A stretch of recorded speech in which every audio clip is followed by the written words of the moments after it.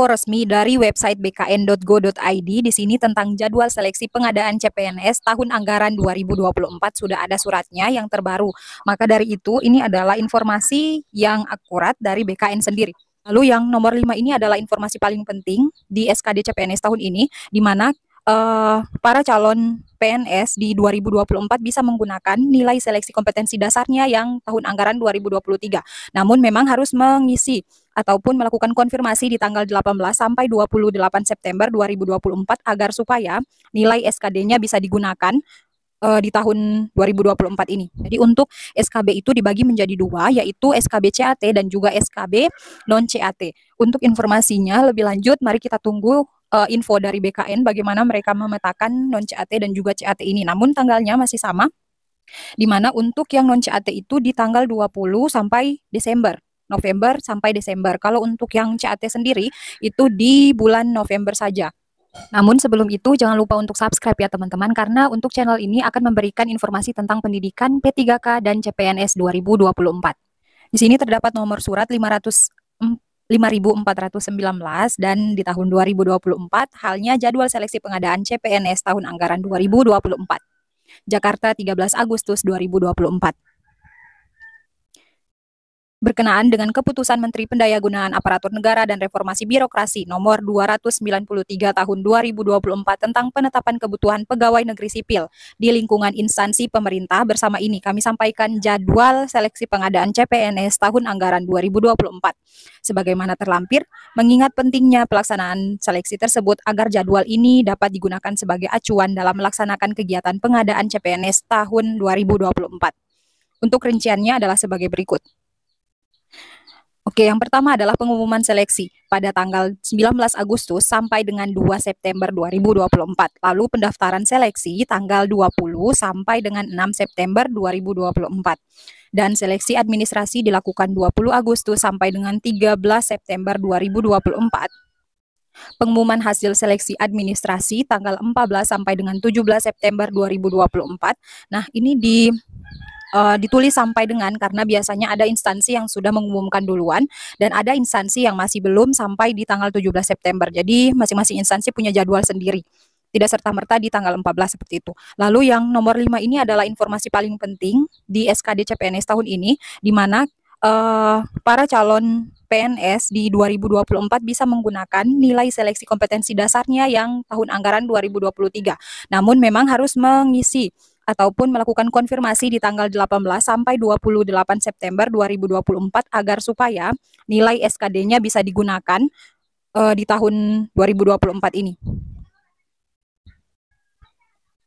Lalu masa sanggahnya ada di tanggal 18 sampai 20 September, jawab sanggah 18 sampai dengan 22 September, pengumuman pasca sanggah 21 sampai dengan 27 September, lalu penarikan data final SKD CPNS 29 September sampai dengan 1 Oktober 2024.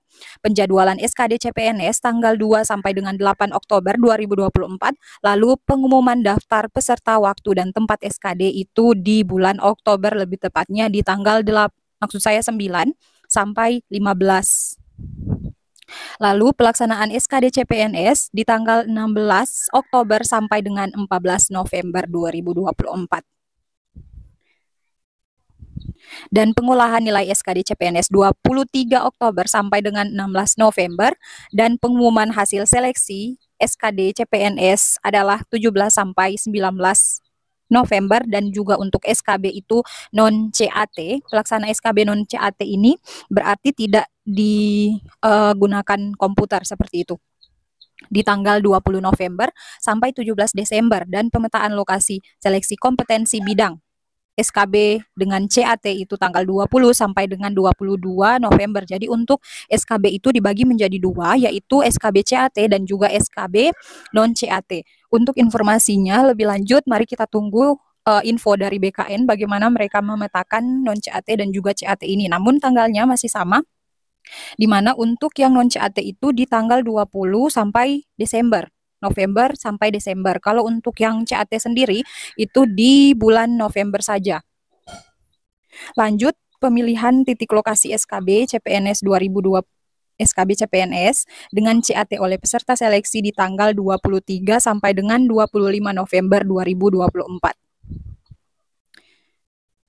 Dan penarikan data final SKB itu di tanggal 26 sampai dengan 28 November, penjadwalan SKB CPNS dengan CAT 29